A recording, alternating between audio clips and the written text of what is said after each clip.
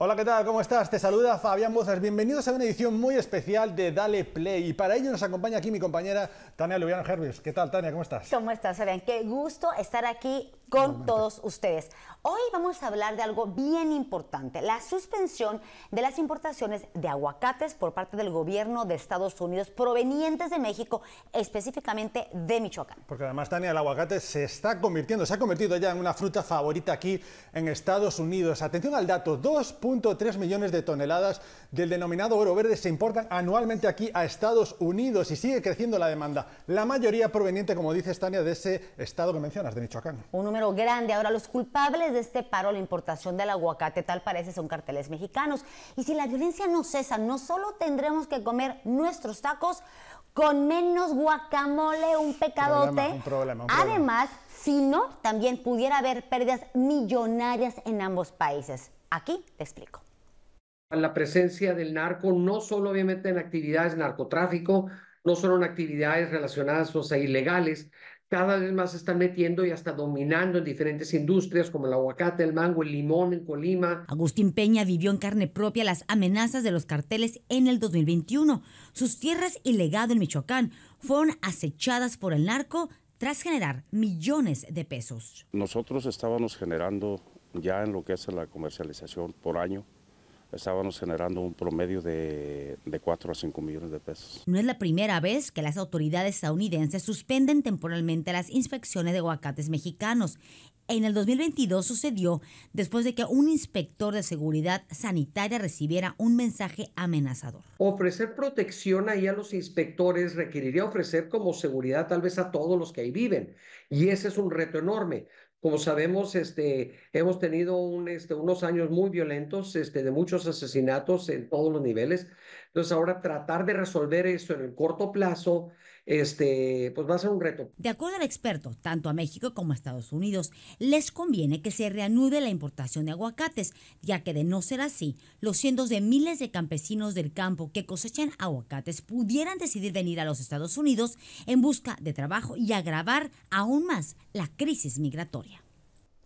Bueno, es que Fabián, estamos hablando, fíjate, de 250 a 300 mil jornaleros que trabajan en la cosecha del aguacate en Michoacán.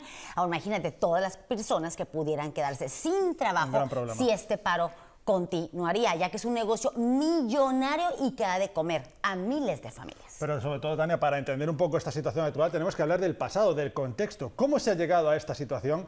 Pues en 1997 Estados Unidos levantó la veda a los aguacates mexicanos, una veda que se mantenía desde 1914, más de 80 años en veda. Saltamos a agosto de 2019, cuando ocurre el primer incidente.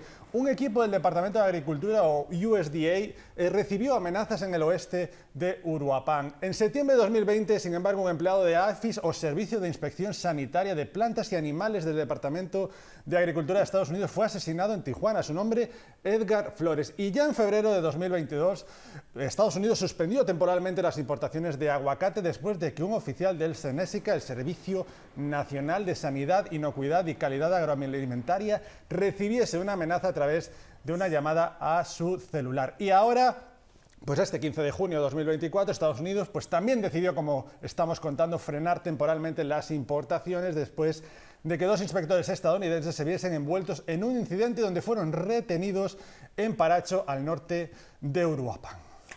Son numerosas las afectaciones por este paro de las importaciones. Aquí les cuento lo que implica y cómo afecta a la población y a los negocios aquí en el país. Échele más guacamole a sus tacos porque en los próximos días pudieran escasear. Y si no hay guacamole, no hay taquitos, ¿te imaginas? Lo que sería un gran impacto para Liz Sotelo, dueña de Lices Cocina en el Cajón, y quien lleva haciendo guacamole, enchiladas, burritos y tacos desde 1989. Y le preocupa que su negocio sufra un impacto ante una posible alza en el precio del aguacate. Y la gente no, no puede pagar, está la economía bien mala para todo el mundo ahorita. Liz nos dice, empieza a sentir el golpe de lo que sucede en Michoacán. Si estaba, pues, ir a 60 la caja, te va a subir el triple. Va a subir un montonal porque va a estar muy escaso ya. Y la gente, pues, tiene que uno darle más precio a la, la taquiza y la gente no puede pagar. O sea, va a afectar en todos los aspectos. Y es que esta fruta no por nada le llaman el oro verde, ya que es un mercado millonario. 2.3 millones de toneladas americanas que están entrando a Estados Unidos, eh, con un valor aproximadamente entre 2.5 y 3 mil millones de dólares. Por lo que el paro de la llegada de aguacates de México a Estados Unidos afecta a más de uno. Y se estima que las pérdidas diarias pueden ser entre 7 o 10 millones de dólares al día.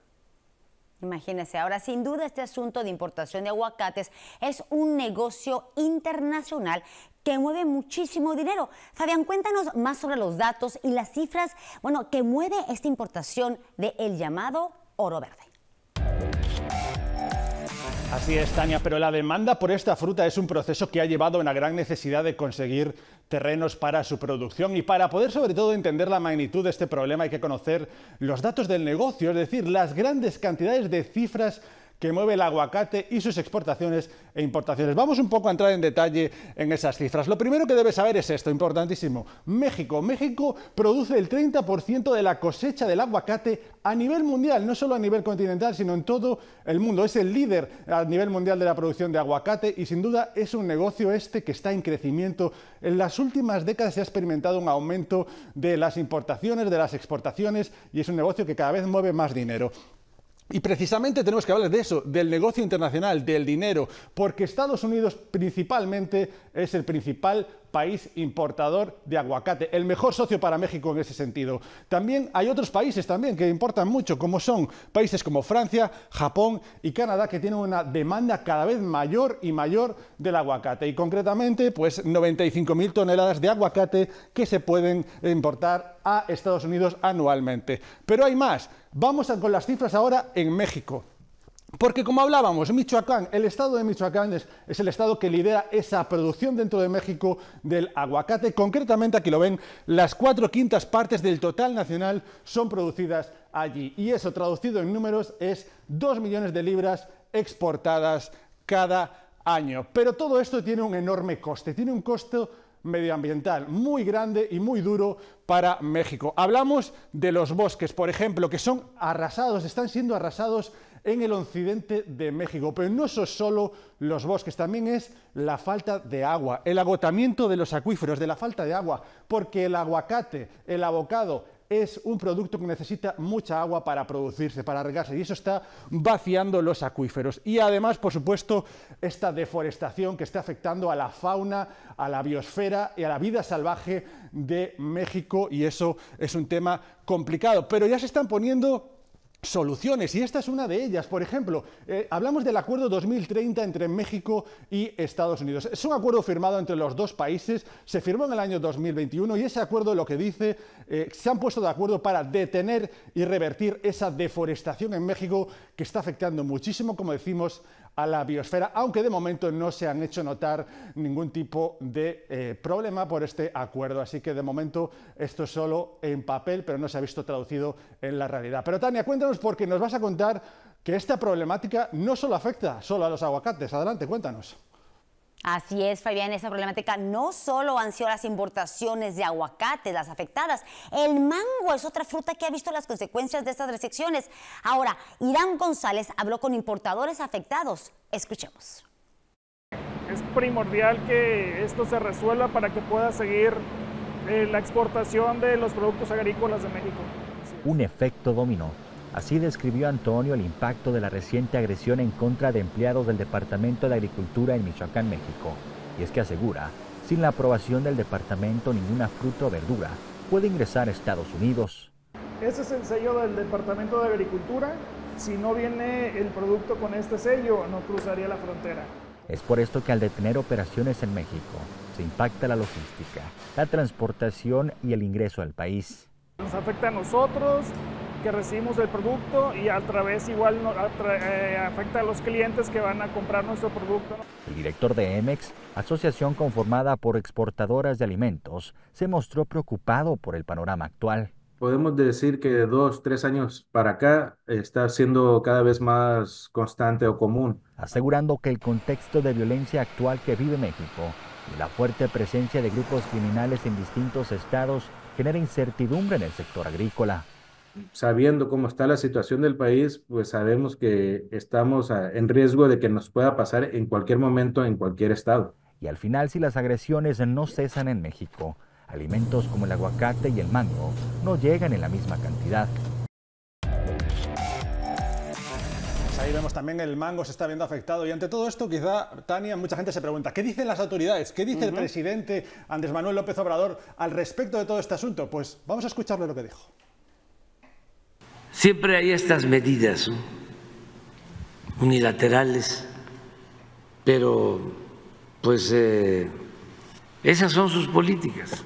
Afortunadamente tenemos buenas relaciones y ahí los vamos convenciendo de que actúen de otra manera, pero lleva tiempo. Palabras que AMLO dijo el 18 de junio durante su conferencia matutina en la Ciudad de México. Ahora, finalmente, el 28 de junio, tras varias reuniones del embajador de Estados Unidos en México con el gobernador de Michoacán, Alfredo Ramírez, Ramírez Bedoya, las autoridades anunciaron que levantan la suspensión de inspección de aguacates tras trabajar en mejorar la seguridad de los trabajadores del sector. Concretamente, Tania, las autoridades no confirmaron todavía una fecha concreta en la que se reanudarán las importaciones de aguacate, pero sí sí confirmaron que será un proceso gradual y que se llevará a cabo de manera progresiva. Por supuesto, aquí seguiremos pendientes del desarrollo de esta situación y en cuanto haya alguna fecha concreta, el día en que se levante esta suspensión, pues estaremos aquí para contárselo. Tania, muchas gracias por habernos acompañado en este especial importante, este tema que nos afecta a todos. Un placer y así que vamos a ver cómo se desarrolla la situación, ya que como me dijo el aspecto, tanto agentes de Estados Unidos como quienes trabajan en la cosecha del aguacate deben de recibir protección del gobierno, ya que los carteles pues no van a parar de apoderarse de esta industria millonaria. Gracias por habernos acompañado. Cuídense mucho.